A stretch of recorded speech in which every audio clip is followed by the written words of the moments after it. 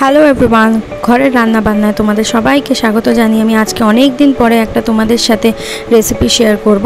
রেসিপিটা দেখে তোমরা নিশ্চয়ই বুঝতেই পারছ। আমি একদম ফুলকো ফুলকো, যেটা আমরা সানডের সকালে ব্রেকফাস্টে আলু ভাজা বা ধরো সাদা আলুর চচ্চড়ি দিয়ে তা আমরা সহজে কীভাবে বানাবো? তো আমি এখানে ময়দা, আড়াইশো গ্রাম ময়দা আছে, আটা, নুন আর সাদা তেল নিয়েছি। তো এটা আমার রেসিপিটা কিন্তু মা দেখাবে। তো মাই মাখছে, এটা আড়াইশো গ্রাম ময়দা নিয়েছি আর একটুখানি আটা নিল মা। একটুখানি নুন দেওয়া হলো আর দু চামচ সাদা তেল সানফ্লাওয়ার অয়েল দেওয়া হলো। এবার এটাকে ভালো করে প্রথমে আগে মেখে নেব জল না দিয়ে। মা এই ফুলকো লুচি খুব ভালো করতে পারে, তো আমি ভাবলাম মাকে দিয়েই দেখানো হোক, যেহেতু মা একদম এক্সপিরিয়েন্সড এই তো অল্প করে জল দিলাম। এবার মা শুকনো হাতেই ওটা মাখিয়ে নিচ্ছে।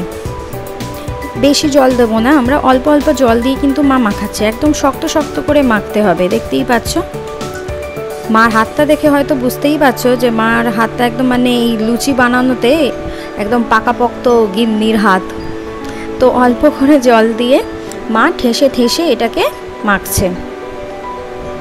বেশ শক্ত শক্ত থাকতেই আমাদের কিন্তু রেখে মাখাটা করে নিতে হবে। এবার দেখো লিচিটা বানিয়ে ফেললাম। এটা দেখে যদি নরম মনেও হয়, কিন্তু এটা কিন্তু নরম লিচি নয়, এটা বেশ শক্ত। আর মা এটা একটা গর্থ গর্থ মতন করে ফেলে। তাতে নাকি লুচি ভালো ফোলে। আমি এটা মার থেকেই দেখলাম, তাই জন্য আমি ভাবলাম তোমাদের সাথে শেয়ার করি। তো অল্প করে হাতে জল নিয়ে মাখিয়ে দিচ্ছে লিচিগুলোর ওপরে। তাতে নাকি নরম হয়।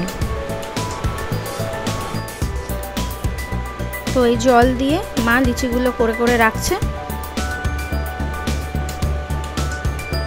এবার মা এটা এখানে বলছে যে, যদি তোমরা সকালে করে পরে খেতে চাও বা ধরো ফ্রিজে রেখে দেবে, বিকেলে বানিয়ে খেতে চাও, তখন অল্প তেল দিয়ে যেরকম মা করছে, অল্প তেল মাখিয়ে কিন্তু রাখতে হবে। তাহলে গিয়ে লুচিগুলো একদম যে আটা আটা মতন হয়ে যাওয়া, সেটা হবে না, ভালোভাবে বেলা যাবে। তো আমি এটা বেলে নিচ্ছি লুচিগুলো।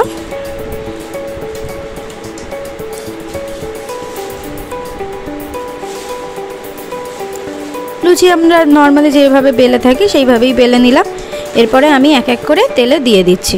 আমি তোমাদের একটাই করে দেখাচ্ছি যে কীভাবে ফুললো, আমি সবকটা আর দেখাচ্ছি না। দেখো কত সুন্দর ফুলেছে। তো যেইভাবে এরকমই প্রত্যেকটা মোটামুটি এইভাবেই ফুলেছিল। আর ফার্স্ট লুচি ফোলা মানে কিন্তু বাকিগুলো ফুলবেই। তো আমি বলব, তোমরা এইভাবেই ট্রাই করে দেখো, যেইভাবে মা করল, যেইভাবে মা, মাখলো। তো তোমাদের যদি এরম ফোলে লুচি, তো প্লিজ আমাকে জানিও কেমন লাগল। আর গরম গরম আলু ভাজা, আম দিয়ে রোববারের ব্রেকফাস্টে একদম জমে ক্ষীর হয়ে যাবে। তো খেয়ে, বানিয়ে আমাকে অবশ্যই করে জানাবে। আমি তোমাদের একটু দেখিয়ে দিই। দেখো কতখানি নরম হয়েছে আর কত পুরো বলের মতন একদম ফুলেছে। তো চলো, টাটা। Take care